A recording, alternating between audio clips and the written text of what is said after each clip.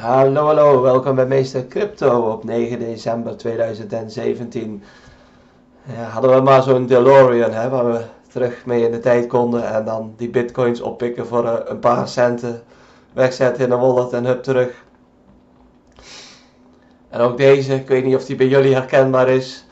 Nou, niet dat mijn vrouw mij nou verdenkt dat ik over andere vrouwen droom, maar uh, dit stukje wel. Hè, het, uh, het in bed liggen en dat al je posities nog eens een keertje voorbij komen. Ik heb er wel eens uh, nou, geen last van.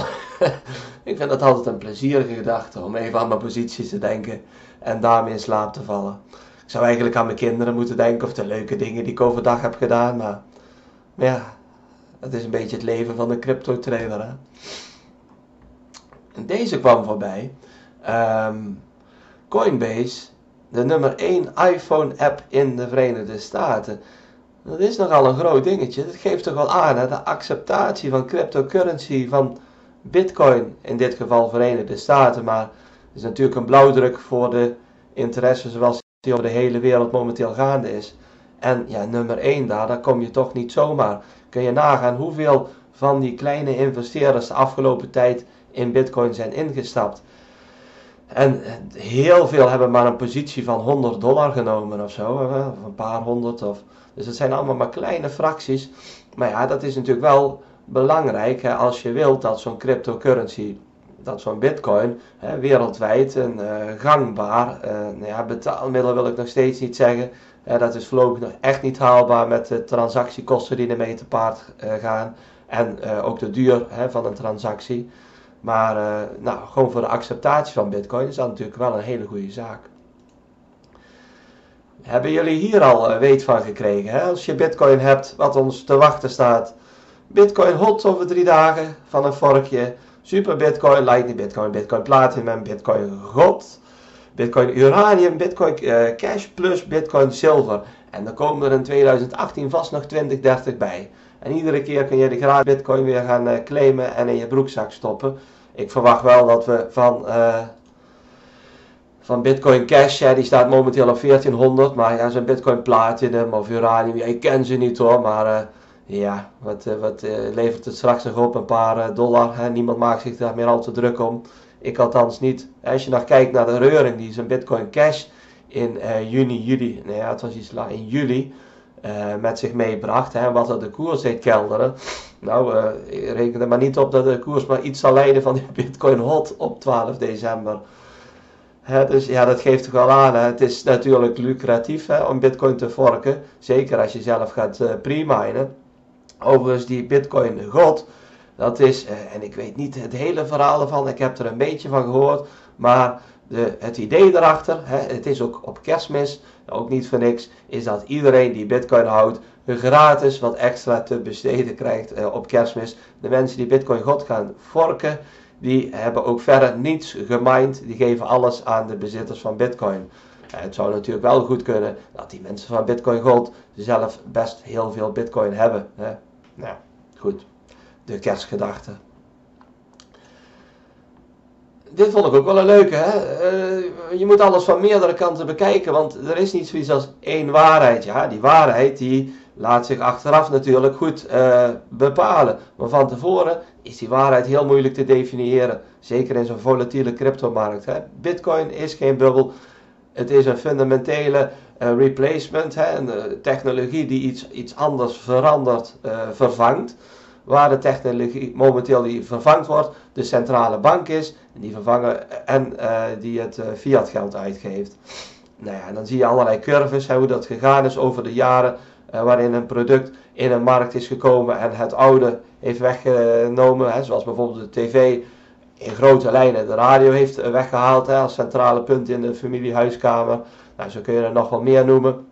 En bitcoin en cryptocurrency ja, die gaat dat zo van fiat doen. Um, dat brengt mij naar deze. We gaan van grafiekje naar grafiekje. Deze Pieter Brent is wel vaker een keer voorbij gekomen bij jullie. Ik volg hem op Twitter. Hij is een klassieke technische analist. Uh, je kunt er veel van leren. En hij, uh, nou, dit heeft hij dan niet zelf bedacht. Uh, dit is sowieso een, een grafiekje wat in de algemene economie iedereen wel eens een keertje voorbij heeft zien komen. De mate waarin een nieuw product, een nieuw event in een markt zijn intrede doet. En dan heb je daar een aantal ehm, groepen van mensen, hoe mensen in elkaar zitten en hoe die reageren op zo'n product. als je bijvoorbeeld hiervoor neemt de mobiele telefoon, je kunt er eigenlijk ieder product op zetten. Dan had je altijd de mensen die al met zo'n ding op hun rug en een antenne eh, rondliepen. Dat zijn echte innovators. Die eerste groep van mensen die met zo'n product gaan lopen. En die nog eh, de vragende en soms honende blik over zich heen krijgen. Maar wat cryptocurrency betreft zitten we nu in die early adopters fase. Althans, zo uh, wordt het hier beweerd door uh, Burst Up. Uh, early, oh, hij zegt trouwens, we zitten niet, daar nog niet eens in. Early adopters start coming next year at 2,5%. Dus daar liep ik een beetje op de menigte vooruit. Hè, om aan te geven dat we echt nog maar in dat hele vroege stukje zitten hier van uh, cryptocurrency. Um, en ja, gaandeweg de menigte zijn weg gaat vinden zou je deze penetratie van de doelmarkt, hè, die zou je natuurlijk ook kunnen vertalen naar een bepaald prijsspel van Bitcoin. Of wat straks de eh, de, het nieuwste grote ding gaat worden. Hè, de vervanger van, eh, die die werelddominantie als cryptocurrency gaat houden. Hè. En ja, ik denk niet dat dat uiteindelijk Bitcoin zal zijn. Ik denk dat een andere, eh, meer geavanceerde cryptocurrency, misschien wel bedacht door AI, hè, door computersystemen die met AI en quantum computing heel efficiënte systemen kunnen bedenken op een blockchain, een nieuwe blockchain ontwerpen die door de hele wereld gebruikt gaat worden. En het klinkt misschien wel heel erg als de Neuromancer of een of andere science fiction boek. Maar we komen steeds weer in een tijd waarbij we zulke zaken niet meer zomaar uit moeten gaan sluiten. Natuurlijk niet dit jaar, volgend jaar, maar in de komende 10, 20 jaar kan er natuurlijk heel veel gebeuren waar je nu nog ja, niet de vinger op kunt leggen. Nou had ik, oh, hoorde deze daar nog bij? Uh, nee, die komt dadelijk. Nou had ik een verzoekje van Stefan Terzic. Ik hoop dat ik het goed uitspreek, eh, Stefan. van, kun je wat vertellen over belasting? Want ja, hoe verhoudt zich nou je portfolio? Hè? Wat moet je daarmee doen naar de belasting toe? En ga je dat verzwijgen of ga je daar wat van opgeven? Welke wetten zijn erbij? Nou ja, sowieso raad ik niemand aan om te gaan verzwijgen voor de belastingen. Ook uh, zij zijn niet blind, zij zien ook deze ontwikkelingen. En je weet, Bitcoin uh, heette dan vroeger altijd anoniem te zijn. Nou, dat is het zeker niet. Het is allemaal goed traceerbaar. mensen, op een bepaalde mate is het traceerbaar. In ieder geval alles op de blockchain is vastgelegd. En ook de adressen en je hebt, je hebt de aankopen gedaan via een bepaalde broker om bitcoins te kopen. Dus nou, je bent niet onzichtbaar voor de Belastingdienst. Daarnaast wil ik je ook, hè, en ben ik daar zelf ook van, wijzen op het ethische aspect natuurlijk. Hè, want ja, die belastingen die dienen ook een doel. Wij hebben met elkaar afgesproken dat we belastingen afdragen vanuit een sociaal oogpunt. Hè, dat we met z'n allen uh, iets in een maatschappij kunnen opbouwen. Hè, dat we afdragen om, nou ja, moet ik dat nog uitleggen, hè, dat, uh, dat er snelwegen gebouwd worden of dat mensen die zonder werk komen te zitten om redenen die buiten hun eigenlijke zelf liggen, een bepaalde vergoeding krijgen, et cetera, et cetera. We willen niet terug naar middeleeuwse toestanden of zo. Dus ja, ik ben sowieso ook voor het betalen van belasting. Uiteraard ben ik ook ervoor om zoveel mogelijk aan deze tijd over te houden. en het wringt wel, of het kan lastig zijn om een groot deel te moeten afdragen. Ja, hoe groot is dat deel? Nou, dat zal voor iedereen verschillend zijn. het verschilt ook van je eigen situatie. Uh, of je met een partner woont of niet. Of dat je, nou uh, kijk, wat zegt de Belastingdienst erover? Virtuele betaalmiddelen zoals bitcoins staan op een computer opgeslagen. Nou, eh, mag nog aan de tekst gewerkt worden, Belastingdienst? U kunt deze alleen gebruiken als betaalmiddel op internet. U geeft deze middelen de waarde in het economisch verkeer aan op 1 januari van het jaar van aangifte. Dus feitelijk, als je dit jaar pas bent ingestapt op crypto, dan hoef je niets te gaan doen eh, de komende belastingaangifte. Kijk, voor de aangifte van 2017, hè, dus in 2018 geef je over 2017 op, dan zul je moeten aangeven wat je waarde in bitcoins was op 1 januari 2017. Ja, hier wordt dat specifiek bitcoins genoemd. Hè. Dat geeft een mooie escape. Echter, hier hebben ze het over virtuele betaalmiddelen. Dus ja, Bovendien heb ik hier niet de officiële site van de Belastingdienst. Ik zit op bitcoin.nl. Dus ik raad je sowieso aan, zoals ik dat altijd raad, om zelf ook nog verder onderzoek te gaan doen. Deel van je vermogen is vrijgesteld van belasting. Dat geldt eh, dus ook als je je cryptovermogen wordt ook gewoon gezien als een vermogen. Je betaalt erover uh, vermogensbelasting. Over het vermogen in bitcoins. Nou ja, we, we, rekenen zelf ook alles om naar bitcoins. Dat zul je dus ook voor andere crypto moeten doen. En uh, nou ja, dan staat er hier uh, het een en ander nog uitgelegd. Ik ben geen belastingconsulent. Bekijk dat zelf maar eens mooi. Als je fulltime trader bent, dan zou het kunnen, maar dat is niet zeker, dat je Bitcoin voor een beroep dus doet, het traden erin. Dan zou het in box 1 worden belast. Uh, ja, en dan praten we dus alweer over wat meer belasting hè, dan alleen die vermogensbelasting, die trouwens wel nog te overzien is, eh, die vermogensbelasting.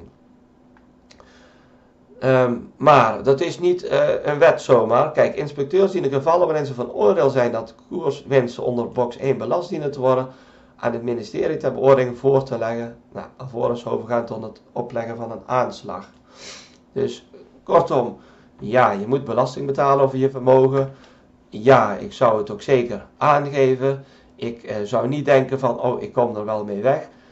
Ehm, en nou ja, wat ik al eerder zei, het is ook een ethisch stukje. Wat dat betreft denk ik ook dat in de toekomst, stel je voor dat dadelijk, uh, we gaan dadelijk een transitie, die zijn we al aan het doormaken. Nu zitten we nog onder die 1% uh, eh, doordringing van de markt. Stel dat we straks op 50% zitten of zo. 50% van van uh, alles wat er binnenkomt, hè, wat, wat mensen vermogen hebt, uh, is in crypto. Ik denk niet dat iedereen alles netjes gaat aangeven. Ik denk dat de inkomsten van de Belastingdienst wel eens drastisch zouden kunnen, gaan teruglopen. Zeker wanneer mensen een toevlucht gaan zoeken tot uh, hè, bekende privacy coins, waarbij zaken totaal niet traceerbaar zijn.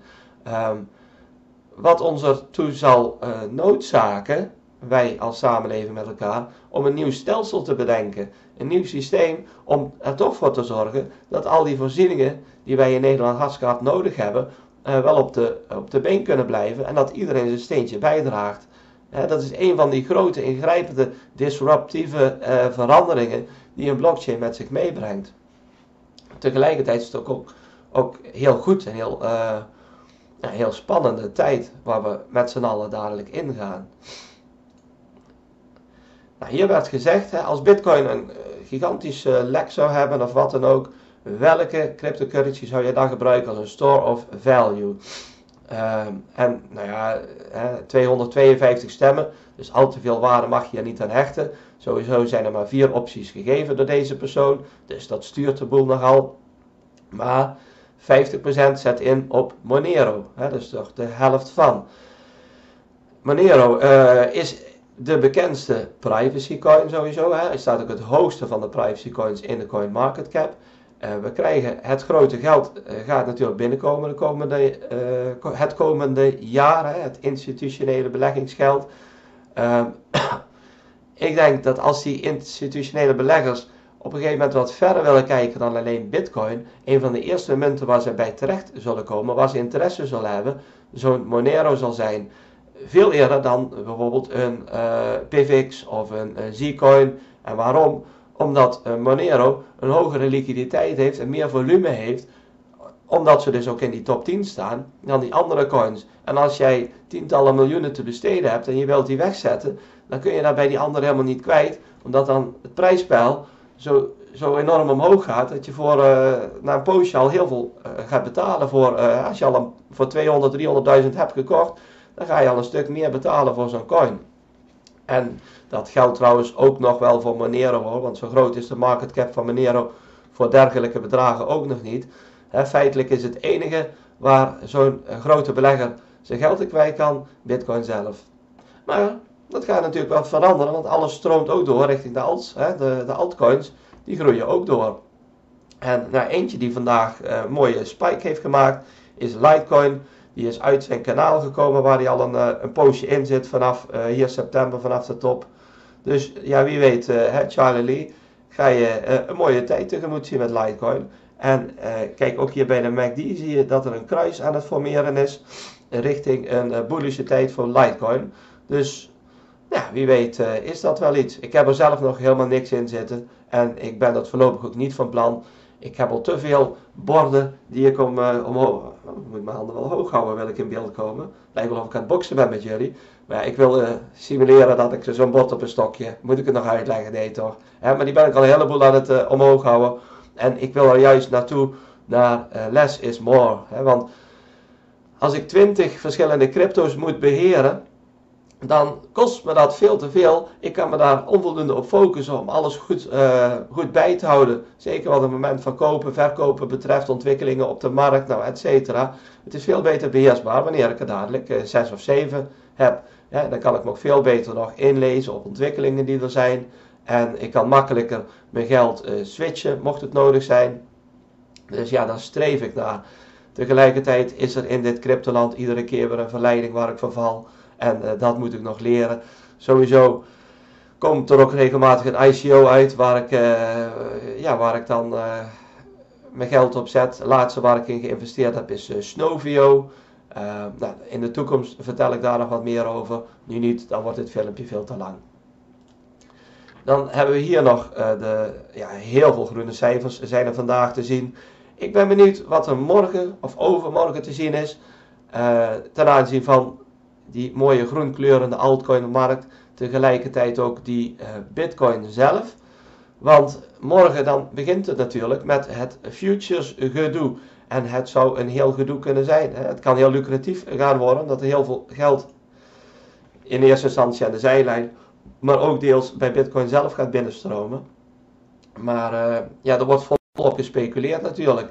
En die mensen van de future contracts, die gaan, denk ik, op een lagere prijs zitten dan uh, Bitcoin nu is. En als je die prijs dan gaat zien, dan kan er al snel een self-fulfilling prophecy gaan vormen. Hè, waarbij mensen al anticiperen op die prijs die genoemd staat en al vast gaan afromen hierboven. En waardoor de koers ook al meteen in een verval begint te raken. En die mensen, die grote institutionele spelers, dat zijn hele rijke, machtige en ervaren, hè, veel meer ervaren dan, uh, ja, wij zijn maar de heikneutertjes, hè, dan wij zijn. Die, uh, die hebben wel de middelen om een markt in beroering te brengen. Hè, die droppen een keer wat op Fox News of op, uh, nou noem maar al die andere mediakanalen, waardoor er een bepaalde onrust ontstaat in de gemeenschap. En wij zijn allemaal bevattelijk voor angst.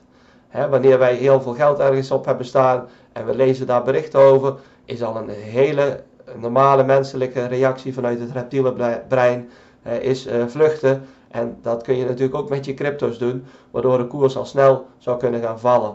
Ja, ik denk wel dat Bitcoin op deze lijn, ja, dit zijn trouwens ook supportlijnen. Ik had er hier ook nog eentje kunnen trekken, want uh, nou ja, dat heb ik laatst volgens mij ook al een keer gedaan. Het wordt allemaal steeds steiler, dat heb je met zo'n parabool. Dat zijn supportlijnen als de Bitcoin koers naar beneden valt, dat kun je hier ook al zien. Wie weet stuit het hier nog een beetje omhoog. Maar ja, morgen begint het natuurlijk met die future markets. En iedere groene lijn is een mogelijke supportlijn. Maar hier hebben we een hele stevige. Hè, dat is die 10.000 uh, dollar lijn. Dus mogelijk dat we daarop gaan stuiteren om vervolgens weer omhoog te gaan. Pin me er niet op vast. Ik heb niet alle antwoorden. Had ik ze maar, dan wist ik ook wat ik moest doen. Want uh, ja, die future markt is voor iedereen nog een heel groot vraagteken. Maar ik zet mijn geld erop. In die zin dat ik nu dus bijna geen bitcoin heb. Ik zet mijn geld erop dat de koers van bitcoin naar beneden zal, uh, zal gaan. En dat zal hij vrij rap gaan doen. Zal hij daar ook vrij ver gaan doen? Ik denk niet te ver, want daarvoor is er te veel enthousiasme rondom dat toekomstige idyllische beeld van een bitcoin van 100.000 of 500.000 of een miljoen. Nou, daar is de media van uh, verzadigd geraakt bijna zou ik willen zeggen. En uh, dat speelt natuurlijk wel mee in de beweegredenen van mensen om verder onder een bepaalde prijs nog te verkopen of niet. Ik laat het hier even bij. Ik uh, een beetje last van mijn stem, maar het komt vast wel weer goed allemaal. Hey, uh, let op je portfolio. Laat je niet gek maken de komende dagen als die bitcoins en die als rare dingen gaan doen. Heb jij er van tevoren niet op geanticipeerd, dan lekker hoddelen. Hè? Vasthouden, niet verkopen, laat maar gebeuren. De zon die gaat vanzelf weer schijnen. Dat heb ik wel geleerd het afgelopen half jaar. Ik uh, wens jullie het beste en uh, doei.